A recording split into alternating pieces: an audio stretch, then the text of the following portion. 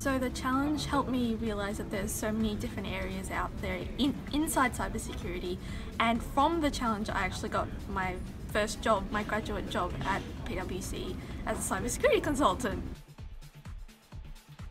PwC Cyber is it's really fun, it's really cool, there's a great team, um, there's so many different areas that you can focus in which is really awesome.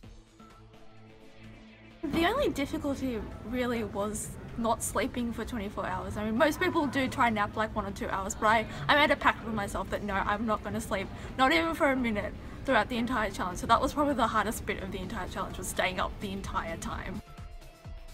The one thing that I'd say to everyone that is taking up the cybersecurity challenge is do it because it is absolutely, you're going to have the best 24 hours of your life and it will lead to some great opportunities for the future such as jobs, more learning opportunities, just everything. It opens up a lot of doors and a lot of friendships and networking as well.